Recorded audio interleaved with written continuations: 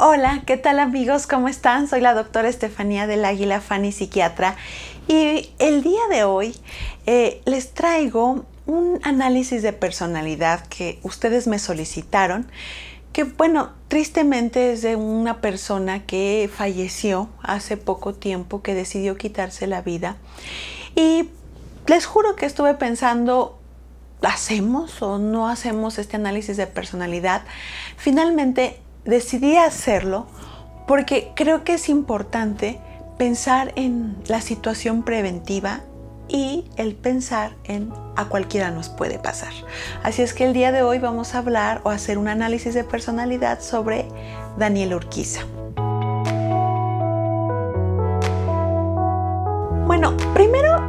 Quiero aclarar así muy, muy, muy claramente. Esto es algo, eh, es un ejercicio lúdico, es una cuestión como una hipótesis. Yo nunca tuve la oportunidad de conocer a, a, Daniel Urquiza y lo que voy a hacer es tratar de ver algunos datos que pueden notarse en su personalidad tomando fragmentos de algunas entrevistas que le hicieron y que están aquí en YouTube.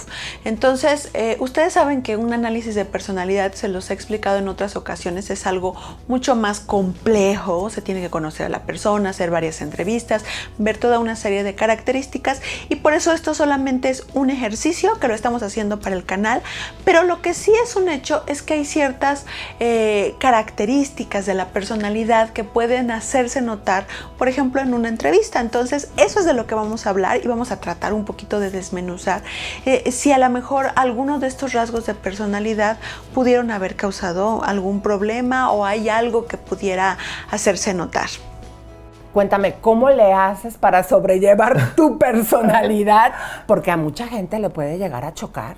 Pues mira, siendo auténtico, yo hago y digo las cosas como son, con pruebas, lo que opine la demás gente bien, entre más piedras me echen, más grande hago mi castillo, así es que me vale reverenda madre lo que diga la gente o lo que opina. Eh, fíjense, esta es una entrevista que se hizo, esta es una entrevista que fue hace aproximadamente un año eh, que le hicieron, le hizo, se lo hizo una periodista que se llama Elizabeth Stein y, fíjense, así empieza la entrevista, ¿no? Eh, esta mujer le dice, oye, tu personalidad no te causa problemas. O sea, desde el principio como que le cuestiona, ¿no? Si hay algo eh, conflictivo, ¿no? Y él dice, yo así soy, que me aguanten a quien sea, ¿no? O sea, no soy casi casi no soy monedita de oro para caerles bien a todos. Eso es para mí envidia. Yo no conozco ese sentimiento. La verdad, nunca he tenido envidia.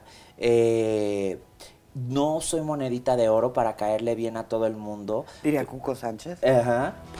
Fíjense, esto me hace recordar mucho una expresión que he escuchado a veces de muchas personas en que dicen, es que yo soy alguien muy directo, ¿no? Y entonces, regularmente cuando las personas hacen este tipo de comentario de, es que yo soy muy directo, se están refiriendo a la forma en la que me relaciono con los demás a veces me causa conflictos, ¿no? Eh, esta cuestión de ser muy directos eh, en ocasiones puede ser más bien que no hay un filtro entre lo que puede ser ¿por qué no? Socialmente aceptable escuchar por parte de otros eh, y lo que uno de repente puede decir eh, sin siquiera pensar en las consecuencias que pueden traer las palabras. Y eso definitivamente puede complicar muchísimo las relaciones interpersonales, pero vamos a seguir escuchando. ¿No te ha afectado a ti que, por ejemplo, que ellas ya no quieran venir o las artistas? Me interesa. Yo no vivo de las artistas, nunca viví de las artistas, al contrario, ellas vivían de mí. Hablar así de algunas de ellas, vamos a poner el ejemplo de Galilea y de Rebeca. Este, a ti en tu marca, no te ha traído ninguna situación que tú hayas visto que bajaran el no, volumen de ventas? para nada, la gente no las quiere. Y, o sea, se sienten como bordadas a mano, como, como se sienten muy caca y la verdad ni a pedo llegan. Y entonces dices, pues no, o sea, no. Bueno, esta persona, Daniel Urquiza, eh, se dedicaba justamente, era extensionista y empresario. Y bueno, hacía muchísimas cosas. Ah, hace tiempo tenía un reality show, eh, realizaba este, pues estas extensiones a personas muy famosas, actrices y demás. Y bueno, además se decía empresario. En la entrevista en algún momento hablan que él este, estaba por abrir una sucursal en Beverly Hills y demás. Pero al, al mismo tiempo eh, ustedes se dan cuenta cómo se expresa de las personas. Aquí la, entrevistadora eh, le pregunta, ¿no? Qué ha pasado con estos conflictos que tuvo, por ejemplo, con Galilea Montijo o con Rebeca de Alba. Y así, o sea, llega a, hablarse o a preguntarse a lo largo de la entrevista eh, con muchas actrices que en algún momento tuvieron o trabajaron con él o acudían a su programa o a su, a su, a su salón, a donde realizaba sus extensiones y habla mal de ellas.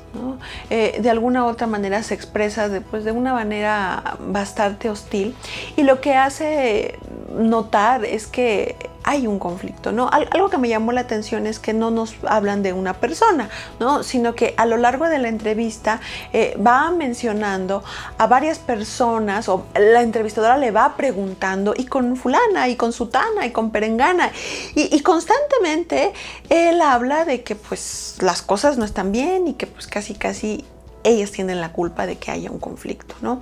Entonces, eh, esta es la principal característica. Honestamente, a mí lo que más me llama la atención, no solamente de, esta entrevista, sino de varias entrevistas que hay en YouTube, es que constantemente eh, habla del conflicto, ¿no? Me, parece que de alguna manera eh, era una persona que vivía en conflicto con los otros. Y si pensamos en la personalidad, que es la finalidad de este video, es que ¿qué hemos hablado del conflicto? No, no, ninguno podemos vivir así como en paz total, ¿no? Como el Dalai Lama. Pero ese cuidado que se tiene en la convivencia con los otros tiene que ver con la personalidad. Y algo que es muy característico de las personalidades eh, límite o de las personalidades del espectro límite es justamente el vivir en el conflicto. Eh, sin importar el sexo, la edad, la situación económica, la escolaridad, eso no tiene nada que ver con la personalidad. Eh, a veces hay personas que viven constantemente en conflicto y dicen, estoy enojado y peleado con mi familia, con mi pareja, con las personas con las que laboro, con con todos, ¿no? Y, a lo mejor la persona no lo identifica como tal, sino que cuando se le va preguntando, cuestionando, va narrando eh, situaciones de su vida, siempre sale la pelea, el conflicto, la inconformidad, eh, la sensación como de que no están respetando, no están valorando lo que yo estoy haciendo, no me están entendiendo, ¿no? Y, entonces eh, eso hace pensar justamente en este aspecto de las personalidades límites o limítrofes. Aquí en el canal hemos hablado mucho sobre el trastorno límite de personalidad. Sería muy arriesgado de mi parte, pero podríamos pensar que tal vez él tenía algún tipo de eh, este tipo de personalidades o a lo mejor algún trastorno de personalidad que le causaba estar en conflicto. Y bueno, se ven algunos rasgos este, pues muy marcados tanto narcisistas y también del tipo límite, ¿no? Eh, narcisistas, por ejemplo, hay, hay una entrevista que hizo Mónica Noguera donde habla, ¿no? Constantemente de eh, la casa donde él vive, su apartamento, las cosas de valor que tiene, como dándole una importancia o un valor muy, muy grande a la cuestión económica. Eh, y no hablando como de otras partes de su, de su vida, ¿no? Eso llama un poco la atención, aunque él no es quien narra las cosas, sino la que va a su casa, pero sí es un poco eh, que llama la atención. Y por otro lado, este, como esta sensación en donde habla constantemente de que las otras personas ese, se creían mucho, ¿no? Este, por supuesto que hay personas que son súper creídas, pero algo que es notorio es que habla que muchas personas se creían mucho, ¿no? Uno podría pensar que es el medio en el que se relacionaba, pero también creo que hay otros factores que influían en cómo él estaba relacionándose con los demás. Ahora, ¿qué es lo, lo, positivo y lo que a mí me hace más ruido? Bueno, honestamente, como siempre, el, fallecimiento de cualquier persona es algo que es algo causante de, mucho dolor, ¿no? Eh, a mí me hace pensar, bueno, eh, qué dolor él tenía. Él, decía que hay, hay, una carta en donde, hay varias entrevistas donde él habla que tenía depresión. Eh, ¿Qué sería lo que él vivía o cómo se sentía eh, para poder llegar a pensar en quitarse la vida? ¿no? Creo que eso es muy importante, el pensarlo independientemente de su personalidad. Las personas que viven en conflicto sufren, los seres humanos, por naturaleza, somos seres humanos sociales. Necesitamos de la convivencia armónica con los otros. Y cuando por alguna razón, ya sea eh, de nuestra crianza, de nuestra historia, eh, de cómo nos fuimos formando, tenemos una dificultad para relacionarnos con los otros, sufrimos. Y las personas que tienen eh, rasgos límites de personalidad, todo lo viven de una manera mucho más intensa. Y vivir en un caos o en un conflicto constante cansa muchísimo. ¿No? Yo no podría decir cuál fue la causa específica de su fallecimiento. Hay, hay por ahí algún video donde hablan de una carta que él, que él realizó este, antes de, de fallecer, pero pero realmente no sabemos si es, si es real, ¿no? Al 100% la carta, pero lo que es un hecho es que sí creo que alguien que vivía en un conflicto constante probablemente sufría, sufría bastante. Ahora, él decía que tenía depresión, ¿no? La depresión, hemos dicho que por supuesto que es algo que se caracteriza por tristeza, eh, por soledad, por desesperanza, pero también es algo muy particular. No todas las personas viven la depresión de la misma manera.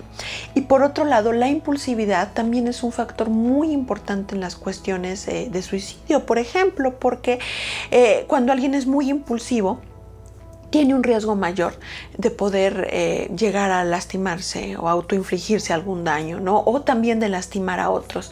Entonces, aquí hay varias cositas que llaman la atención, ¿no? Una depresión eh, crónica que él había referido, que creo que estaba muy relacionada con su personalidad y que eso lo cronificaba mucho más.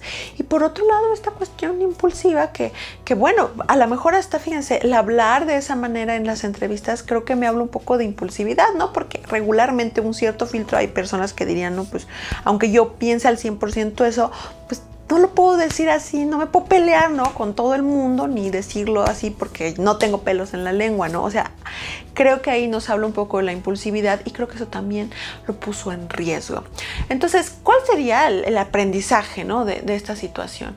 Eh, en primer lugar, que si hay alguna persona que él es una figura pública, por eso es que supimos de lo que le sucedió, pero si hay alguna persona que constantemente se siente inconforme, en conflicto, incomprendido por parte de los otros, hay que tener un foco rojo, ¿no? O sea, hay que ver en nosotros mismos y ver, a ver, suena un poco raro que yo constantemente me sienta enojado, en conflicto, ofendido y que como que como que me agarro del chongo con todo el mundo y me siento que poca gente puede entenderme, ¿no?